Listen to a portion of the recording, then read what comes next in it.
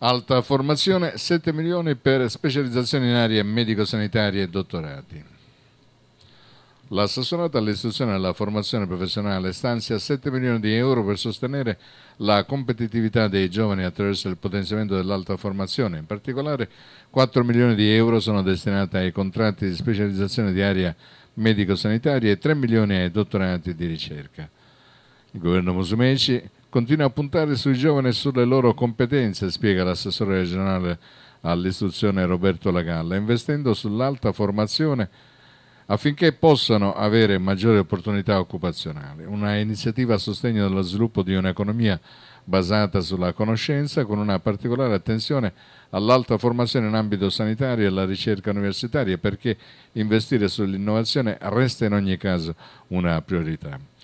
attraverso il finanziamento di 36 contratti di formazione specialistica delle scuole di specializzazione nell'area medico-sanitaria degli Atenei siciliani, che si aggiunge a quello ministeriale, la Regione rafforza l'opportunità di accesso ai corsi, migliora l'efficacia dell'istruzione terziaria e soprattutto promuove il rafforzamento dell'offerta di figure specialistiche di alto profilo in campo medico-sanitario, di particolare importanza soprattutto alla luce del necessario incremento dei servizi sanitari per l'emergenza Covid-19.